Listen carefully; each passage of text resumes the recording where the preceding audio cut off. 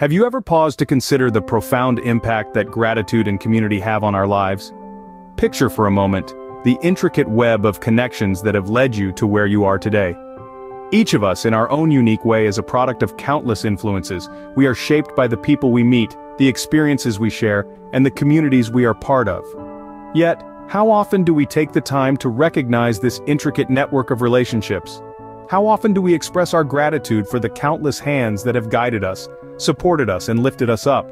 There is a certain power in acknowledging that we are not alone, that the good fortune we enjoy is not solely the product of our own efforts, but the result of countless acts of kindness, support, and guidance from others.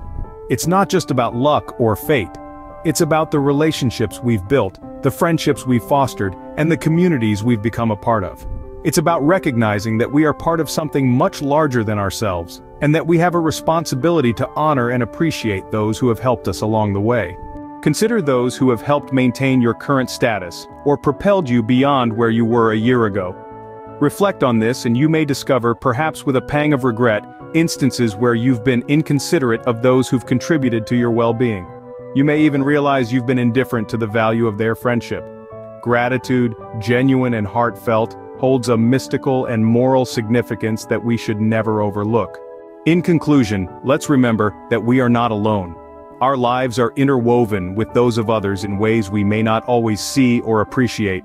So, let's take a moment to express our gratitude, to honor our community, and to appreciate the profound interconnectedness of our lives. After all, we are all part of the same cosmic tapestry, each thread as vital as the next.